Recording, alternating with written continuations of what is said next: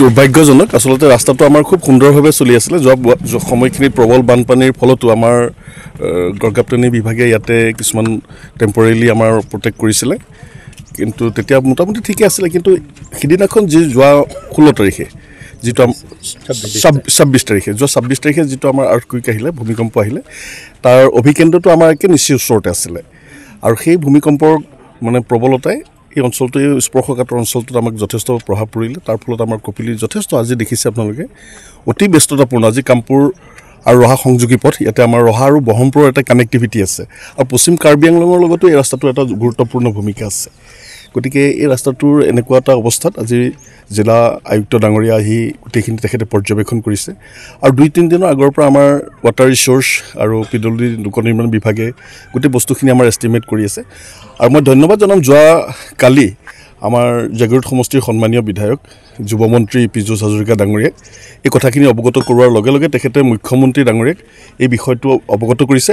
আৰু মুখ্যমন্ত্ৰী ডাঙৰীয়াও তৎকালীনভাৱে ইয়াৰ ওপৰত এটা এষ্টিমেট প্ৰস্তুত কৰিবৰ কাৰণে আমাক নিৰ্দেশনা দিছে। ইতিমধ্যে আমাৰ লোক নিৰ্মাণ বিভাগে এইটো এষ্টিমেট এইটো প্ৰিপেয়াৰ কৰি আছে।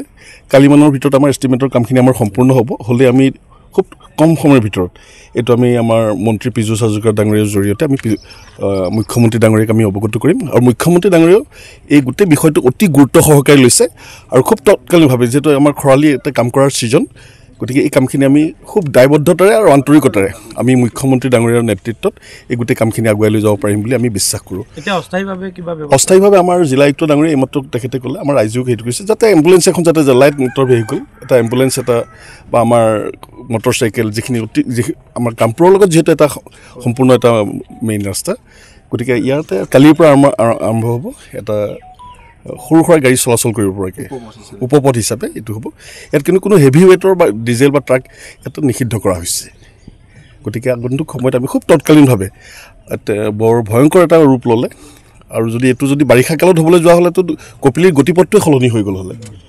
তাৰ গোটেই এটা বেলেগ এটা দিশত কপিলি গুচি গ'ল হ'লে। গতিকে গোটেই বিষয়খিনি অতি গুৰুত্বপূৰ্ণ সহকাৰে লোৱা গুৰুত্ব সহকাৰে লোৱা হৈছে। আৰু মুখ্যমন্ত্ৰী ডাঙৰীয়াক ধন্যবাদ জনাম। তেখেতে কালি আমাৰ মন্ত্ৰী পীযুষ হাজৰিকা ডাঙৰীয়াই অৱগত কৰাৰ লগে লগে পজিটিভলি তেখেতে কৈছে যে লগত লগত এটা এষ্টিমেট প্ৰস্তুত কৰি আমাক এই কামখিনি কৰিবৰ কাৰণে তেখেতে আমাক নিৰ্দেশ দিছে। আৰু কালি পৰহিৰ ভিতৰত আমি অফিচিয়েল কামখিনি এষ্টিমেটখিনি আমি ছাবমিট কৰি আৰু পৰৱৰ্তী আমি দুই তিনি মাহৰ ভিতৰত আমি যাতে এই গোটেই সমস্যাটো যাতে আমি যাতে সমাধান কৰিব পাৰোঁ তাৰ কাৰণে আমি দৃঢ়ভাৱে পদক্ষেপ গ্ৰহণ কৰিম। আপুনি বিচৰা বাতৰি পাব কেৱল নিউজ এইটিন এপত।